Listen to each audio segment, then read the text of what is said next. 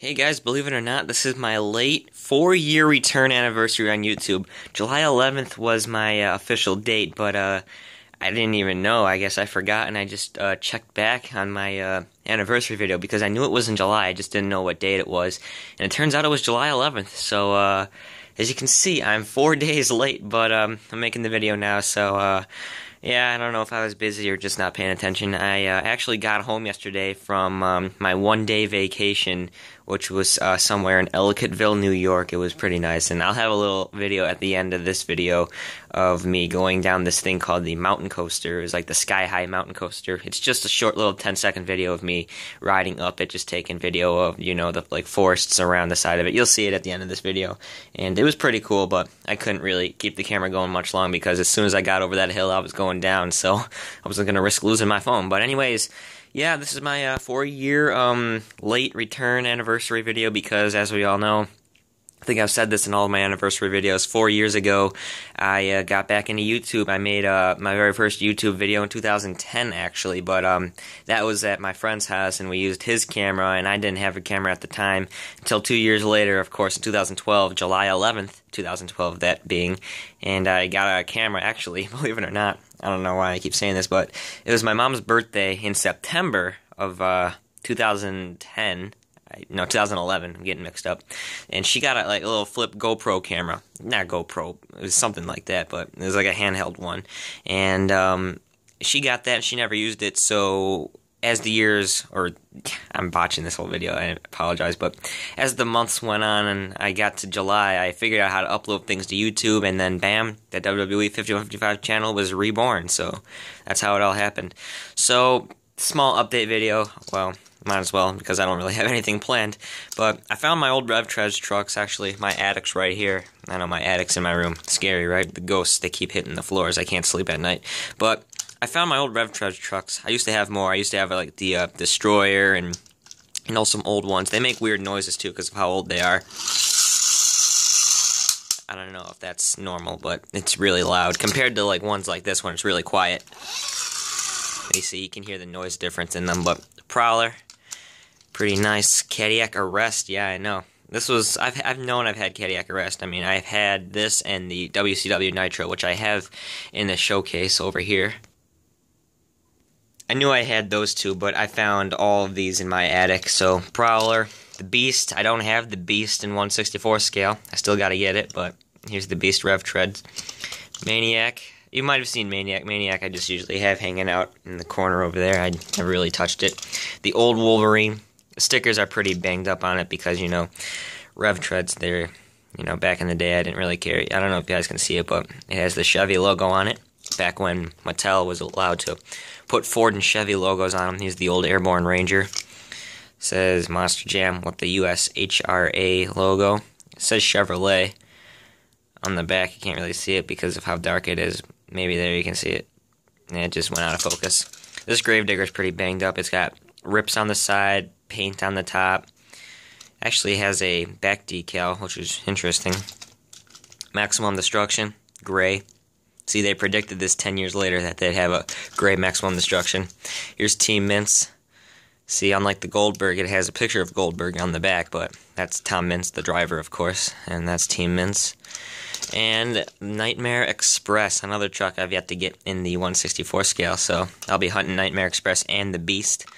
But, um, yeah, small fact Nightmare Express and the Beast are both real trucks now. You'd know the Beast is real because if you saw my, um, video of five more Hot Wheels Monster Jam trucks that are also real life trucks. Nightmare is also another real truck.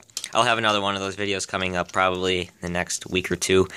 Um, but yeah, I'll have another five trucks that are real. So yeah, I just found some of these Rev Tredz. I don't really know what I'm going to do with them. Probably put them back in the attic because I don't uh, collect Rev Tredz anymore. As we all know, I'm 164 scale collector. Some people are probably wondering, what am I going to do with these trucks in the future? Well, my plan is when I move out of my parents' house, because you know I'm still in school, and uh, I plan on building a shrine like a little display case, and who knows, maybe passing a few down to my children in the future. Who knows? But you know, as of now, I'm still collecting, man. So, anyways, Yu-Gi-Oh. This is my old Yu-Gi-Oh binder. I don't collect Yu-Gi-Oh anymore. I used to have a deck. I used to duel like crazy in Yu-Gi-Oh, and uh, you know, Yu-Gi-Oh was a big thing for me back in the day. And I found my old binder, And yeah, baby, I got good cards. I kind of remember. I remember this was probably, I don't know, long time ago, but I was at a flea market with my brother and we this guy was selling like a ton of Yu-Gi-Oh cards and he had like this little box and there was like three packs of these cards inside and I opened we were on our way home and I was sitting in the back in the of my car or yeah in the car and with my brother and we were both opening the Yu-Gi-Oh packs so he told me to go first so I opened my first pack second pack and then I got to the third pack and I pulled this and I'm like what is this? And he's like dude that's like ultimate rare. I'm like oh my god I've never seen anything like this. So I don't know if you guys can see it or not I'm gonna try my best to get it on camera but doing research. This is called a ghost rare, and you can kind of see it there. Majestic Star Dragon. It's like a mirror, but in the right light, you can see it. It looks awesome, man. This is like the holy grail, grail card I pulled. Now, I don't know if any of you guys are diehard Yu-Gi-Oh fans, but I did some research on the internet, and apparently this card is like a $100 card. Legend of Blue Eyes First Edition Ultimate Rare, Red Eyes B Dragon. Apparently that's an ultimate rare card, and it's like $100. I pulled these two cards. I don't know why. We opened all our packs in our car, so I don't know. It was just weird. And I pulled both of these at the same time. Well, not in the same pack, but, well, yeah, one pack I pulled this, the other pack I pulled this at the same time in the car, so it's weird. So I pulled all of my cards, like here, in a car, so pretty cool. I remember getting this. That was like a long time ago. I'm more of an older Yu-Gi-Oh card guy. I don't like the newer cards. Here's some of these. I don't know. I'm considering selling my Yu-Gi-Oh binder, so you know if anybody is into Yu-Gi-Oh and wants any of these cards, let me know. I have the complete Exodia set and the three God cards. You know, this is like the page to have. So any Yu-Gi-Oh guys out there, offer me some money in the comments below if you're interested. But um, yeah, I don't know what tokens are. like I said, it's newer. I don't really know. Chakra. This was growing up. There was a PlayStation 2 game called Yu-Gi-Oh! Duelists of the Roses, and this was like my favorite ritual card to use. Sengenjin was another one of my favorite cards to use. But yeah, these are all mainly the older cards, and I think after this page, like you just saw, these are like the newer cards that, you know, I gave up on because they're dumb. This Jinzo, this thing's worth money. I know that. That's like PSV 000 Secret Rare. It's at least 20 bucks.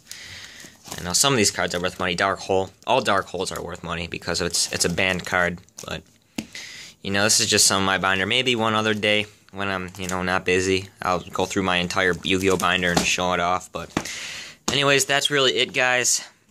That's four years on the WWE 5155 channel and plenty more to come. I'm going to have a SmackDown vlog July 26th because I'm going to SmackDown. And uh, should be awesome. That's going to be the next vlog for anyone wondering. And um, yeah, that's going to do it for now.